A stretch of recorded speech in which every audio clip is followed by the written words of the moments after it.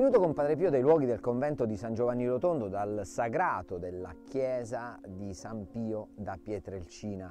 Oggi eh, qui perché vogliamo leggervi una pagina eh, del testo di Padre Marcellino Iasenzaniro, eh, le sue testimonianze, la missione di salvare le anime. Ecco, il Padre.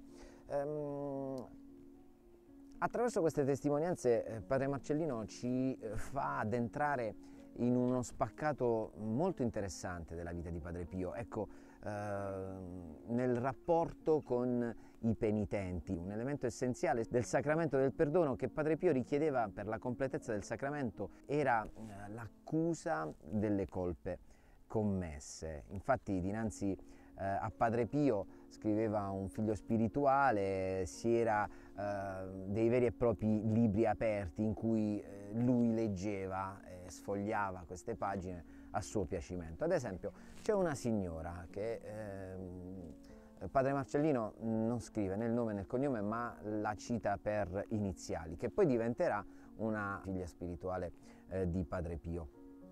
Eh, Padre Marcellino racconta che ci offre una testimonianza bella. Ecco, tre confessioni avute con, con, Padre Pio. 1956 si presenta davanti a Padre Pio e dice Padre, ho avuto uh, dei dubbi sulla fede.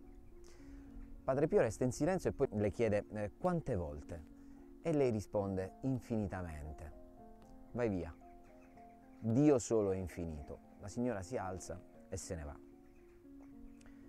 La volta successiva ehm, cerca di essere però più precisa, accusando sempre lo stesso peccato. E Padre Pio le chiede quante volte. Lei dopo un attimo risponde Padre dieci volte. E vado sul virgolettato. Hai venduto dieci volte l'anima al diavolo, vai via. Questa volta Padre Pio va a porre l'accento eh, sulla pericolosità di vagare per tanto tempo nel buio, dove lo spirito del male può mimare a poco a poco le certezze della fede, fino a condurre l'anima nella miscredenza. E allora la signora, e lo scrive proprio lei, eh, non aveva la più piccola cognizione della confessione e fece notare direttamente a Padre Pio, ma padre, è la seconda volta che mi cacciate. E poi subito Padre Pio ribatte, e chissà quante volte ancora io ti caccerò. E la penitente di nuovo ritornò dopo diverso tempo, per la terza volta. Padre Pio invece qui l'accolse con molta dolcezza, facendole con pazienza un esame di coscienza particolareggiato e disse, eh, figlia mia ti voglio aiutare. Eh, poi cominciò a domandare, hai fatto, hai fatto questo? Hai fatto quest'altro? E lei rispondeva soltanto sì, no. Nella sua testimonianza la signora conclude proprio così, eh, Padre Pio mi ha fatto entrare a poco a poco nella realtà del sacramento mi diede l'assoluzione e poi mi mandò in pace.